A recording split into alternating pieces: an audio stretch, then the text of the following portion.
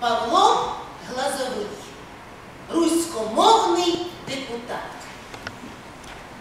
Коли у Раді у Верховній руськомовний виступає, ви прислухайтесь, шановні, що він мелить теліпа. Из единого союза никуда мы не уйдем. Жить не сможем без России, неизбежно пропадем. Выступайте на державній! Із гальорки хтось гука. Перестаньте придираться, чути з іншого кутка.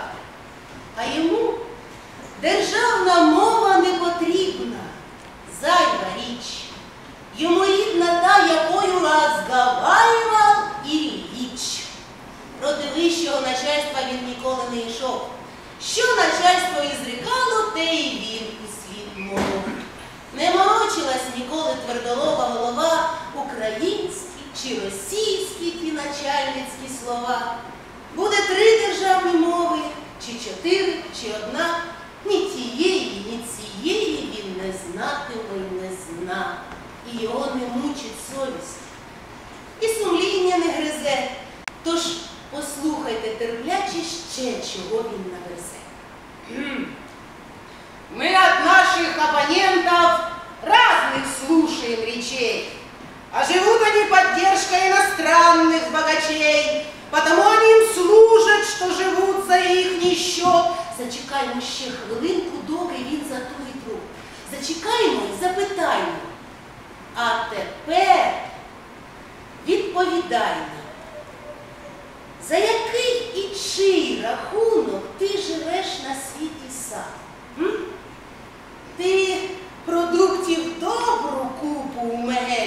Щодня. Що ж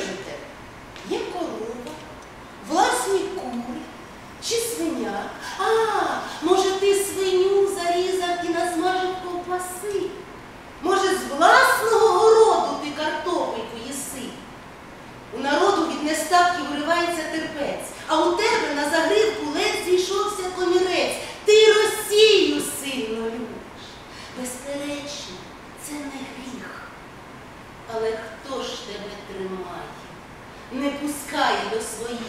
Залиши нам Україну, не тягни до росіян. Можеш пупа надірвати. Це тобі не. Браво!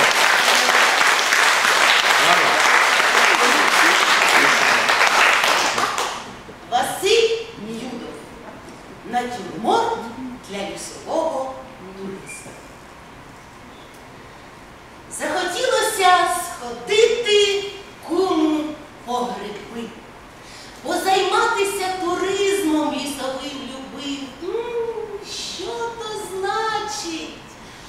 Запах лісу у грибний сезон. Очищаються легені, в груди преозон, молодіє серце, нирки, ожива печінка, ще й не гапає на нерви про роботу жінка. Кум справдішнього гривного кошик Христа й акуратно в дорогу харчі накладав. Положив на дно котлети, цибулинки дві, буде чим перекусити в лісі на траві.